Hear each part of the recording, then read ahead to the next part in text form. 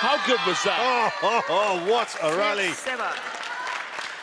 And it's Doo Hoi Kem goes in front. It's been a great run of points here for her.